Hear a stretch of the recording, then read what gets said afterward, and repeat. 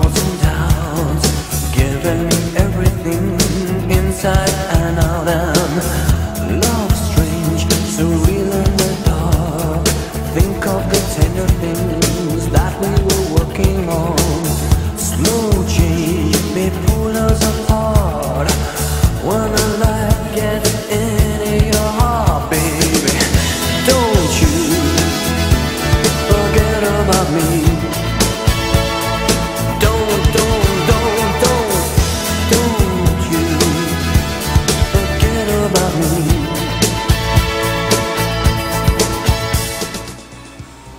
Dear Mr. Vernon, we accept the fact that we had to sacrifice a whole Saturday in detention for whatever it is that we did wrong.